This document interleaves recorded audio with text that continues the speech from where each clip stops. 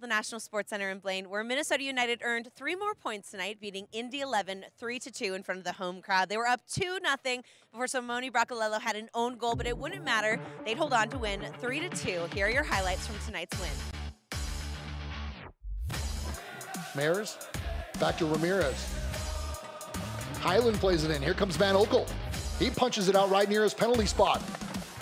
Keeps it in play. Play on called by the referee on that one as well. Bisoncini. Ibarra. Ahead. Bracalello into the penalty area. Bracalello to the left foot. Cross.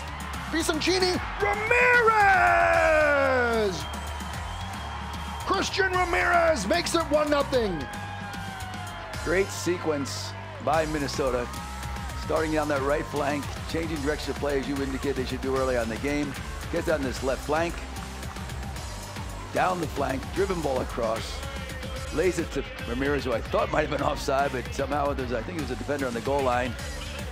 Like Simone little run, the left foot driven ball. Ramirez is right there, the touch inside, 1-0 Minnesota. Tries to dribble it through. Maybe could have hit it first time at the top of the box. Here now, two on one. Bracalello has Mendes in the middle. Bracalello.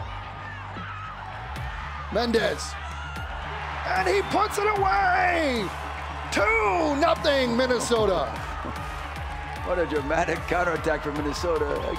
Again, you feel a little badly for Indy putting all the pressure on, but Minnesota really, really resilient, resist, comes back against that pressure, gets a, almost a 3-on-1 break. Wonderful play by Simone, drew the defender in, timely pass, Mendes onside, calmly strokes it by the goalkeeper.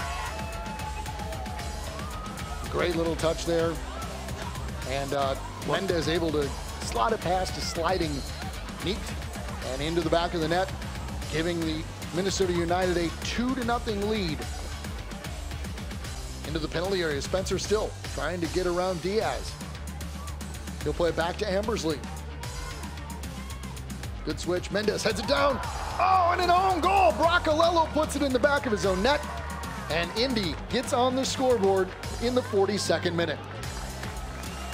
Chris, it was coming. You saw Indy continue to attack, attack. Minnesota could not get possession, could not maintain, hold the ball, develop their own attack uh, since their second goal, and uh, it seemed inevitable. Comes across, Mendes is open, Simone's off a little bit, can't get to it quick enough, the header down. And if Simone doesn't put it in, there's an Indy player lurking right behind him to put it away if they had to.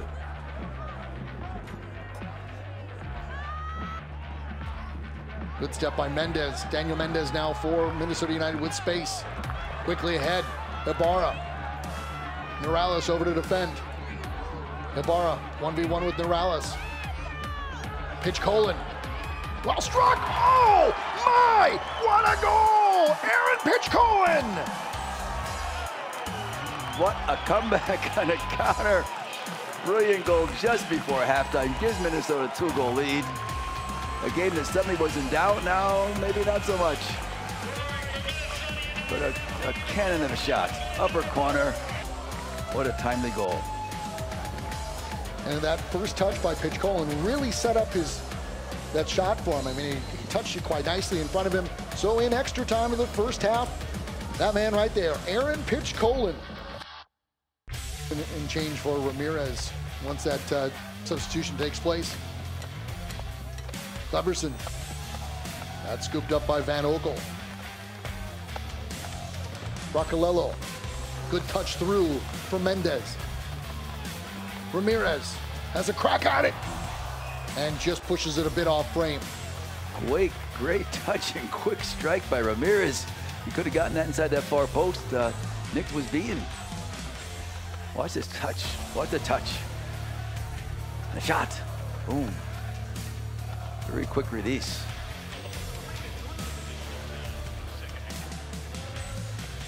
Good service in from Highland. Loose ball. And a penalty kick has been called for Indy. I believe it was a handball against the Minnesota defender, possibly Justin Davis. So a penalty kick has been called for Indy. Looked like it went off the hand of Jamie Watson. So Watson kind of falling back, put the arm out, Kléberson from the spot for Indy. And he slots it away, lower left corner. 3 2 now.